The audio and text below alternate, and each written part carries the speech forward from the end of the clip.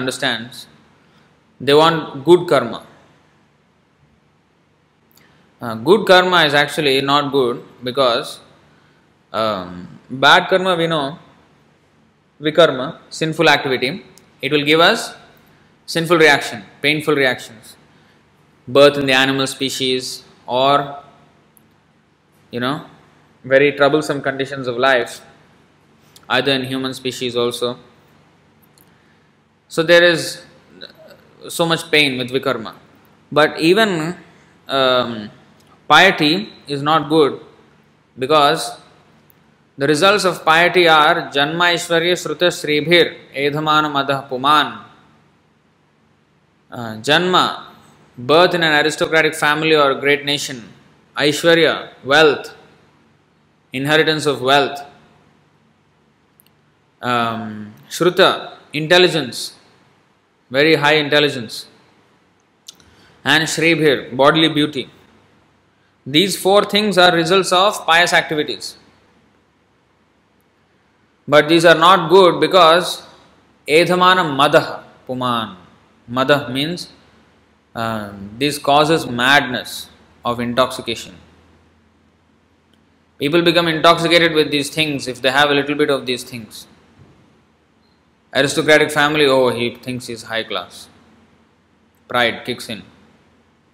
Then uh, Aishwarya, wealth. Then he squanders the wealth. Uh, he's, he engages in all kinds of sinful activities because of wealth. Wine, women, uh, you know, all kinds of things. Becomes a spoiled brat. Then Shruta, intelligence. He thinks he's too smart, like the modern scientists or philosophers who deride God. Just because of little intelligence, they think they have more intelligence than God. And then finally, Shribhir, bodily beauty. One becomes so much intoxicated with one's own beauty, and it becomes a cause of pride. In this way, they distract us from the real aim of life. And Edamana we become intoxicated, infatuated with these things, and become thoroughly distracted from the real aim of life. So, this is why good karma is not um, coveted by those who are interested in spiritual advancement. Another thing is that you have to take birth to experience all these good results of karma. That is actually the prime problem here. One thing is we have to take birth to experience all the good results of our pious activities.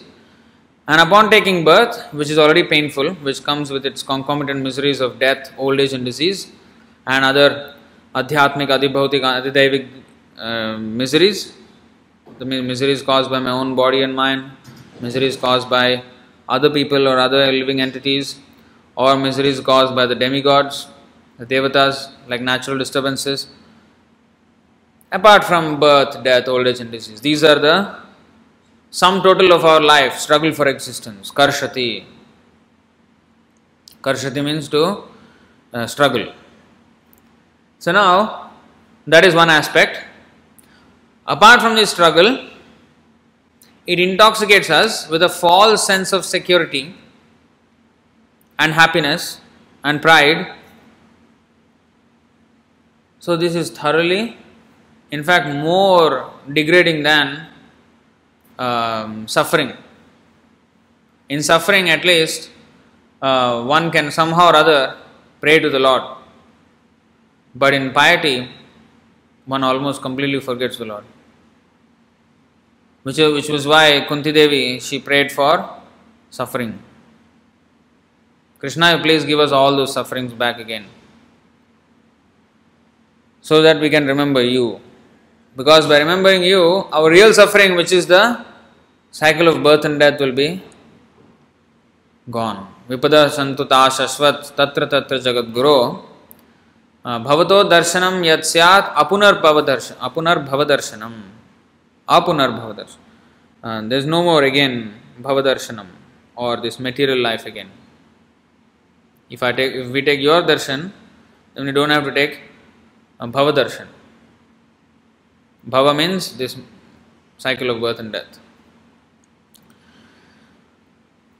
So, this is the uh, aspect pious and sinful activity.